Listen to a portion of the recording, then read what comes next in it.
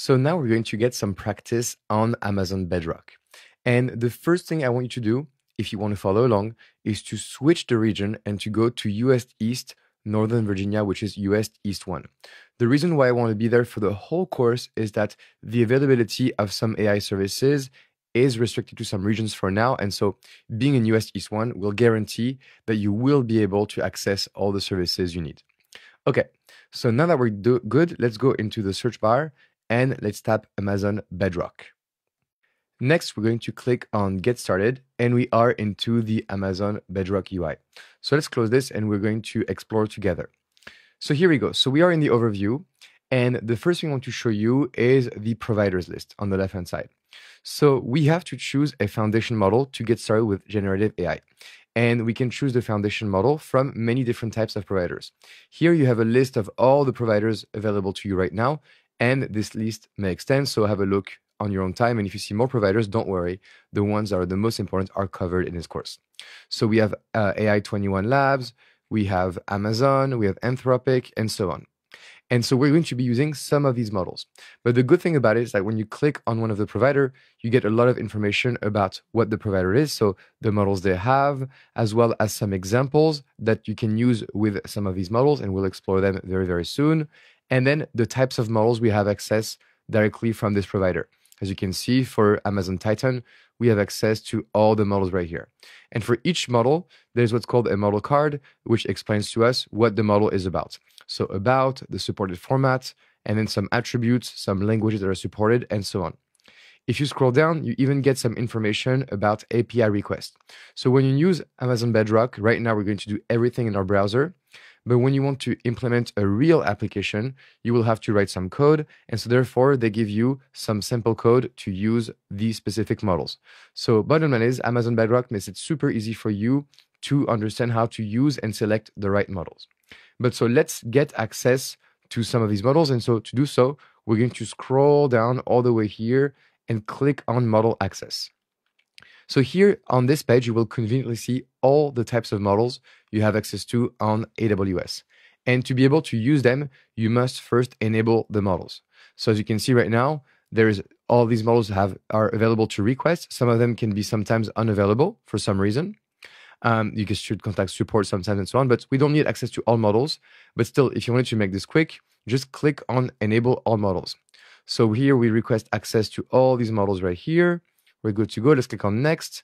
And then you need to enter some use case details around your company name, your URL. And this is just some survey information. It's not very, very important. So enter this. So here I put Stéphane Maarek and I'll put www.stefanmarek.com. And then the industry I operate in is going to be education. And then this is for my internal employees. And then it's just testing Amazon Bedrock. Let's click on next. And now let's click on submit. So this doing enabling the models does not cost any money, but using the models will cost some money. So in this course, I try to keep cost at a minimum, but uh, when you're using generative AI and AI overall, it's going to be rarely free. And so therefore, if you want to follow along with me and perform the hands-on, you will have to spend some money. At the beginning of the course, I gave you access to the entire budget you will have for this course and that I've spent, but it's good for you to make your own decision. Again, you cannot just also see me do and it's going to be fine. You don't have to do everything as I do. So sometimes you will get access failed. For example, these ones we cannot access to because we should talk to Amazon support. So don't worry too much about these error messages. As long as you have access to some of these models, you're good to go. And to get access to the models, it can take a few minutes. So you can see some of them, for example, from Amazon are already granted, but others are in progress, for example, uh, from Anthropic. And if you want to read the terms and conditions of a model, you can click here and access it. So now let me just pause this video until I get access to all my models. Okay, so it took about a minute, but now as you can see, everything is access granted except the few models from Meta and from Anthropic.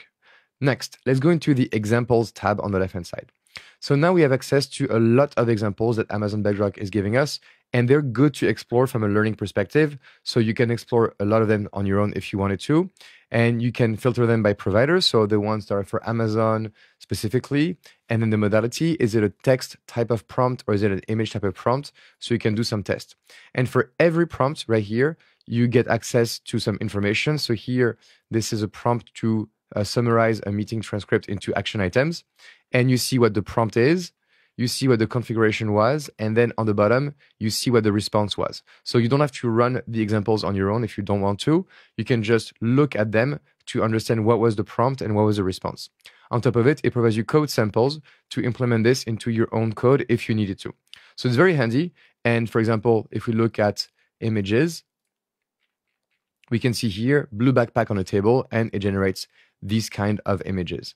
So this is cool because we can learn about AI without spending any money, but we want to actually try it out. So let's go ahead and actually explore what's called the text play playground. So here we need to first select a model. So I'm going to close configuration. And for example, we need to select a model. So I'll click on select model. I'll choose Amazon and then we can choose um, Titan G1 Express. Perfect. And apply.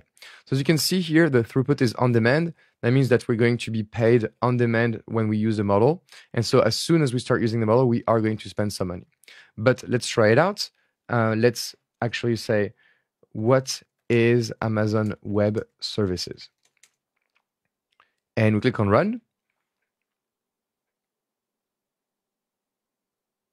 And now we get the response directly from the model. So here we learn about Amazon Web Services, and it's quite a detailed answer we're getting when data is generated over time. As you can see, we have a lot of information given to us by the model. So we learn about overall AWS here. Then we learn about the compute aspect right here, then the databases right here, the analytics, networking, the mobile, and it goes on and on and on and on. So as you can see, this type of model, for example, gives us a very lengthy type of answer. You can also have a look at the chat. So the chat here is again for you to select a model.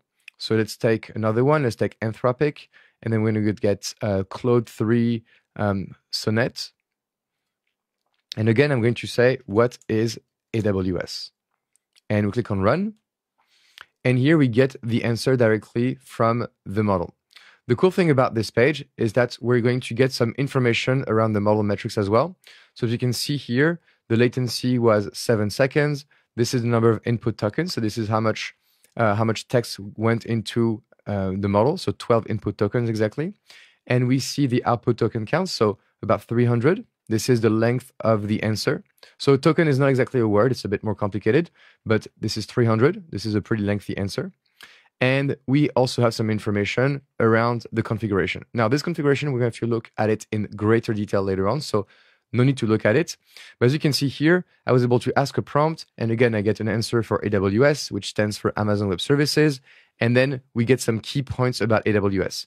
The fact it is infrastructure as a service that has a wide range of services. We're looking at the AI ones, but there's so many and so on. So as you can see, different models will give you different kind of answers and choosing the model is going to be a big part of your work. On top of it, we can put text, but we can also add files if you wanted to, if the models support it and for image finally. So here, um, this is going to cost you a lot more money to generate an image than to generate text. So don't do it if you don't want to. Uh, we're talking about cents, but still four cents or eight cents, but still it is some money. So here's an example, generate images from a prompt and we say blue backpack on the table and we click on run, on run and we get the output of three images right here of blue backpacks and they were fully generated by AI, which is pretty cool. So again, the configurations can be pretty vast. So what type of orientation do we want? What size of the image we want? How many images do we want? And so on. And so this is how to tune this image playground. But here we've seen the basics of Amazon Bedrock and Gen AI. So we were able to generate some text directly using the text feature or the chat feature we were able to generate some images as well. We're able to have a look at all the providers and some examples associated with them. And also we saw how to enable access to the models. So that's it for the overview of Amazon Bedrock. I hope you liked it and I will see you in the next lecture.